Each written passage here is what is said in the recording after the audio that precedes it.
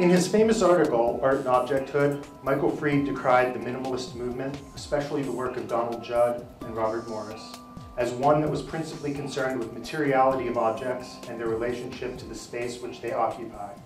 In other words, objecthood.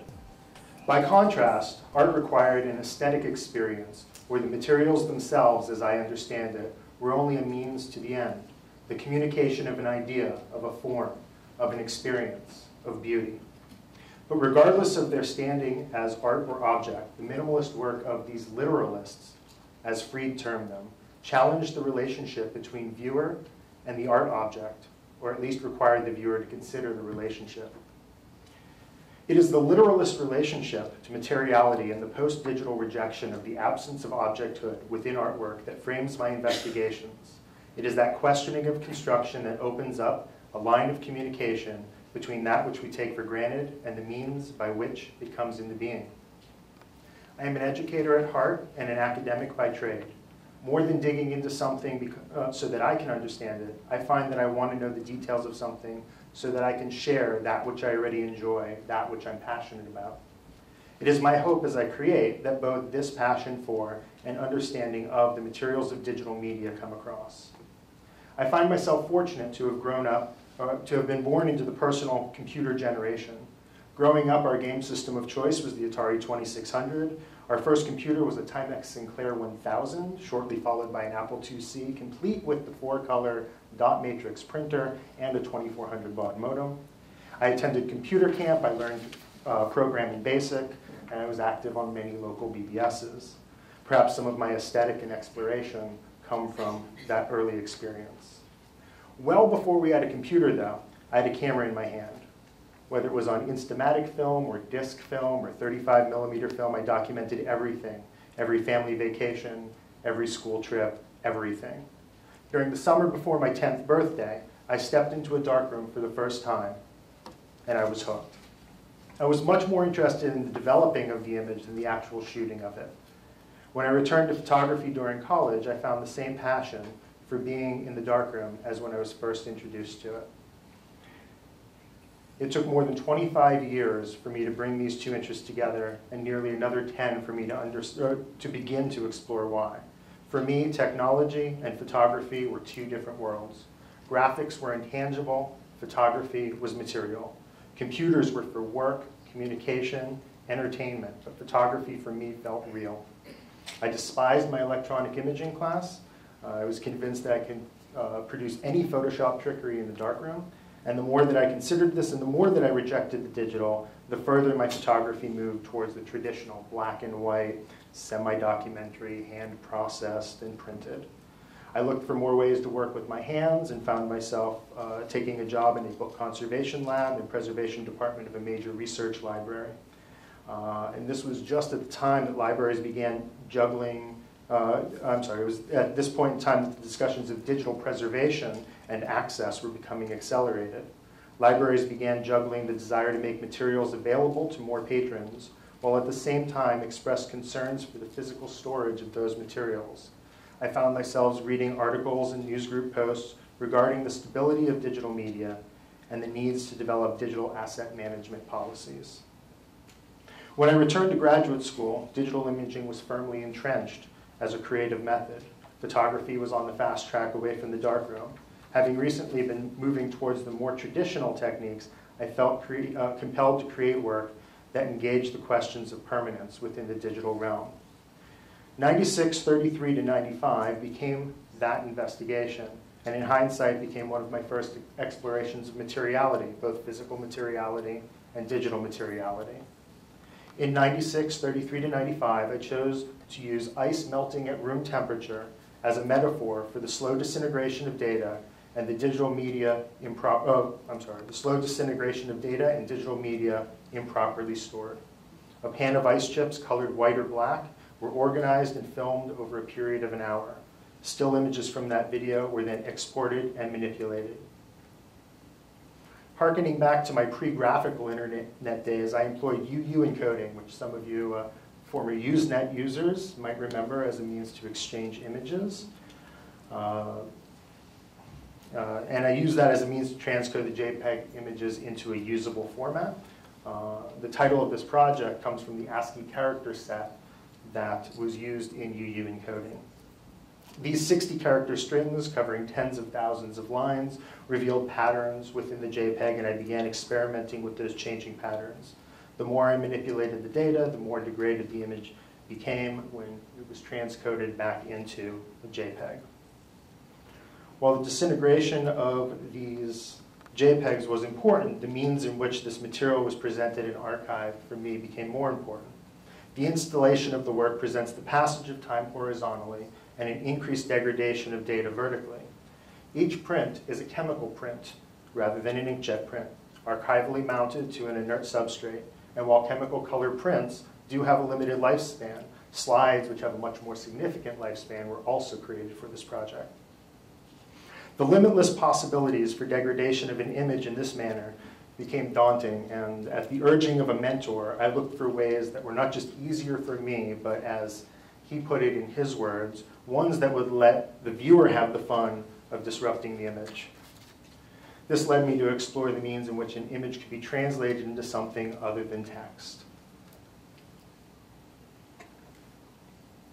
Pipeline, in essence, was like stepping into the middle of a giant fax machine. An image projected on one wall was transformed into sounds that were projected through the space at the opposite end of the space. A microphone picked up those sounds and translated them back into image.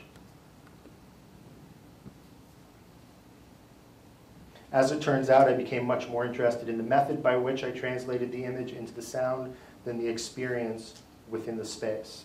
Don't get me wrong, though, user experience is still pretty high up there on my scale of interests, but the addressing of the screen is a method that stuck with me through much more of my work and something I'm sure I will come back to time and time again.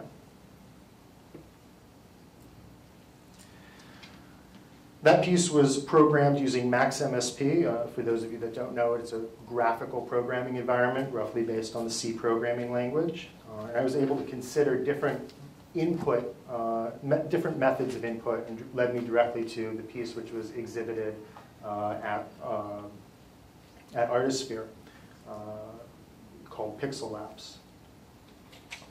Pixel Lapse began as a method of recording an image simply pixel by pixel with the hopes of exploring long exposure photography as the com computer considers the construction of the image. Pixel Lapse had given me the opportunity not only to add duration to images, but also velocity. Slower captures became more about the space, faster captures became more about the movement and changes in that space. While some of my early experiments were enjoyable, it was the exploration of portraiture and the capturing of the user uh, during the learning process that seemed to be most successful. This, of course, led to the photo booth. It began with the home version that people could run on their own machines, and you were welcome to visit the site and download it for yourself. Uh, and uh, eventually moved on to a full-size installation, full-size photo booth installation at the University of Maryland in 2008. This is the documentation from it.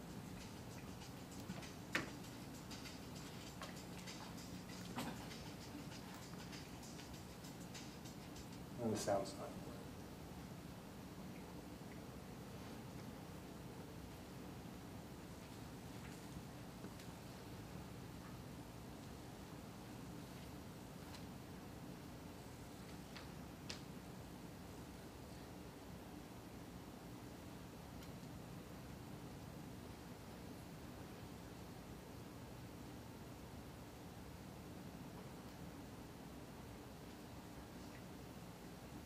So in this initial installation, there was a screen on the inside of the booth as well as on the outside of the booth. So there was this element of privacy, but at the same time, you were broadcasting your experience inside.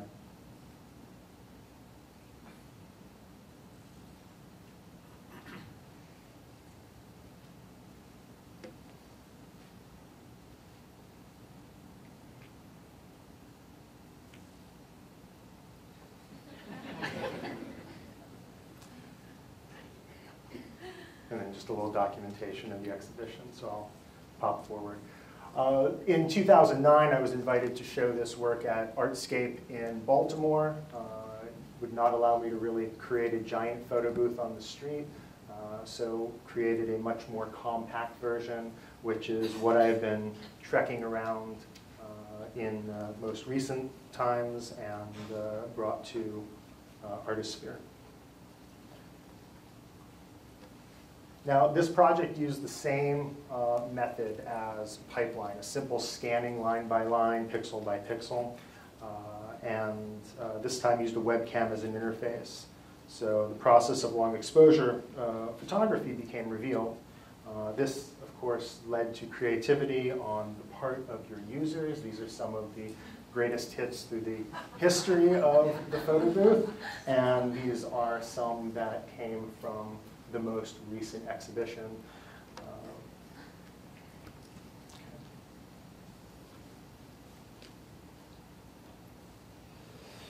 the final project that I want to show you this evening is uh, what's uh, has the potential of involving the viewer, but at this point in time, it's still just my exploration, my investigative process.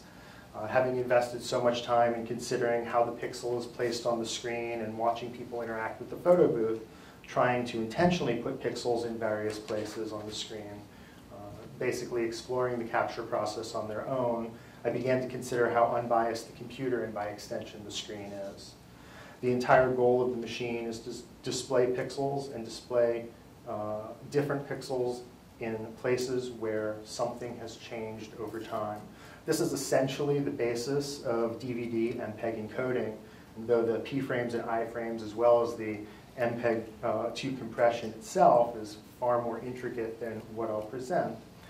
Um, Glitch art and data moshing have been especially interested in harvesting this technology for creative purposes, but I am again interested in the pixel and I was interested in the simple addressing of the screen.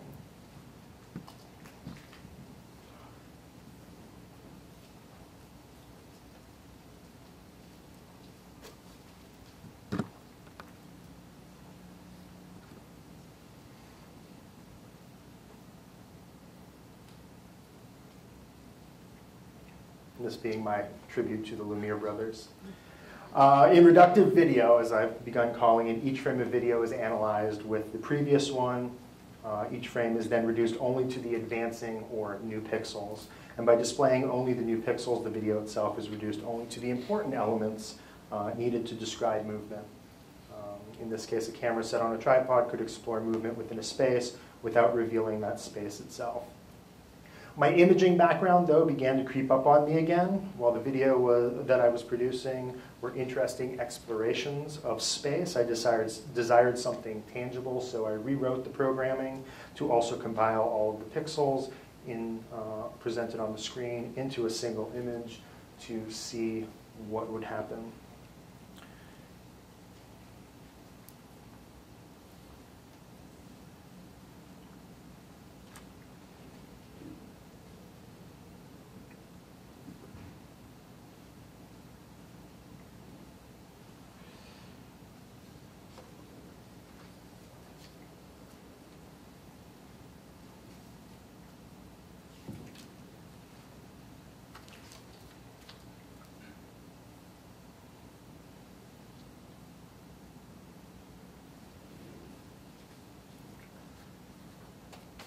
So through reductive video, I began exploring both locations as well as activities, and in this case, uh, took a piece of footage that I had filmed uh, on vacation one summer and began processing it, looking for the minimum that, that's necessary.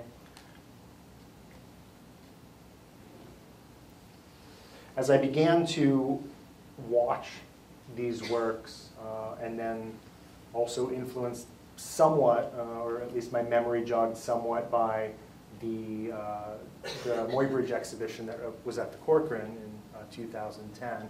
I realized that I was exploring similar ideas. I was exploring movement. I was exploring differences in movement. Um, both Muybridge and uh, Etienne Jules Marey were concerned with the efficiency of movement, exploring how a body moves. So I stepped into that myself. This is one of our soccer players up at UMBC who graciously let me film her in the studio.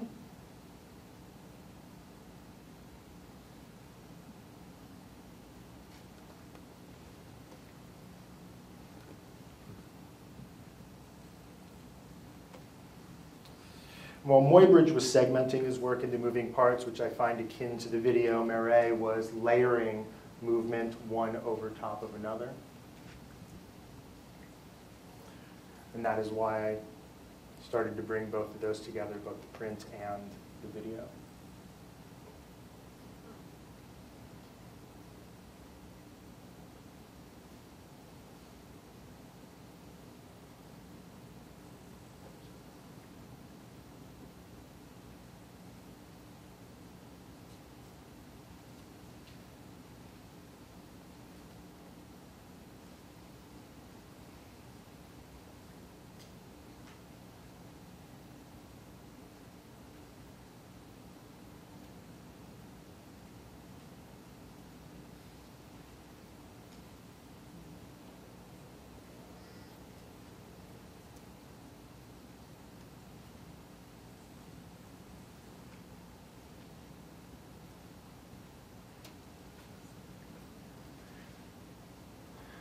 I pretty much said everything that's up there.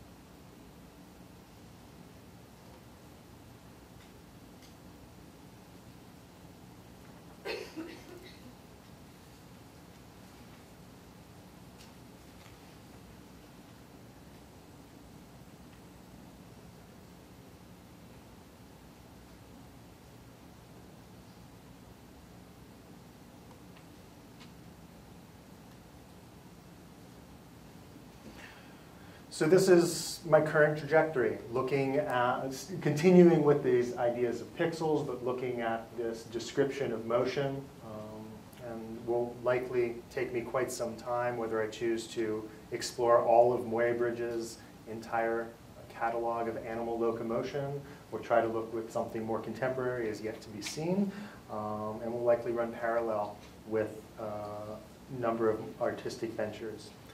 Um, but I think it's fitting that I leave you with this exploration, the reductive video. It, like much of my other work, is an attempt to simplify the impact of technology on the still and moving image. It is my attempt to bring some tangibility back to the intangible, or at least some level of objecthood.